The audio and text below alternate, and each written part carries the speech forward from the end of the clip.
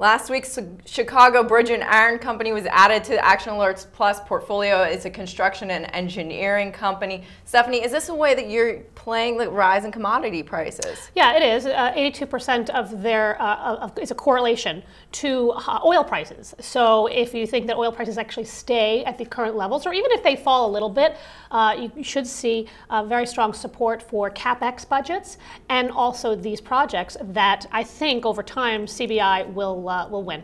One thing CBI is doing is they acquired the Shaw Group. This was announced last year. Right. What does that do for this company?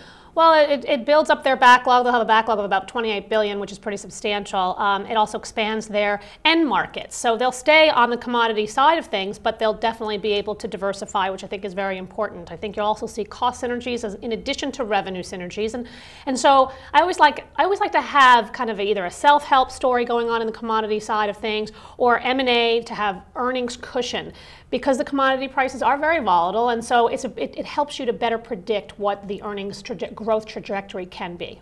Okay, now these guys are reporting earnings on the 27th. Right. What are you expecting?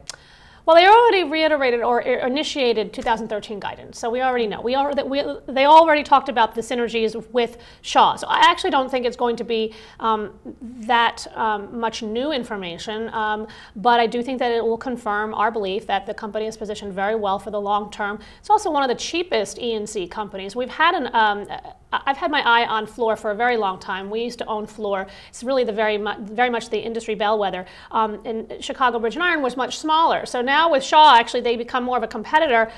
But Fluor is so much more expensive. So I think at this point, the valuation makes sense. You've got some synergies and you have some um, positive catalysts ahead uh, for the story. Um, and I think that commodity prices will stay firm as well. Whether you have it, CBI is trading at a discount, and with rising commodity prices, it's a no-brainer.